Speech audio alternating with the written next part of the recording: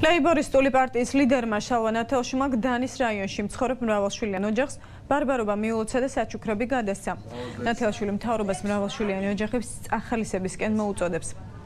ყარაულაშვილებმა დასახმარებლად გდანის გამგეობას არაერთხელ მიმართეს, მაგრამ უშედეგოდ. მრავალშვილიანი დედა უმშევარია ოჯახის ერთადერთი შემოსავალი კი სოციალური დახმარება. სოციალურად დაუცველი დედა დახმარებას ხელისუფლებისგან ითხოვს. საქართველოს სამწუხაროდ გადაშენების პირას მდგარი ერების რიცხვშია შეტანილი საერთაშორისო კოეფიციენტებით. წმინდანი დაგვიფარავს, მაგრამ ხელისუფლებამ უნდა გაანძრიოს ხელი, რომ რავალშვილიანობა გახდეს წესი ჩვენს ქვეყანაში.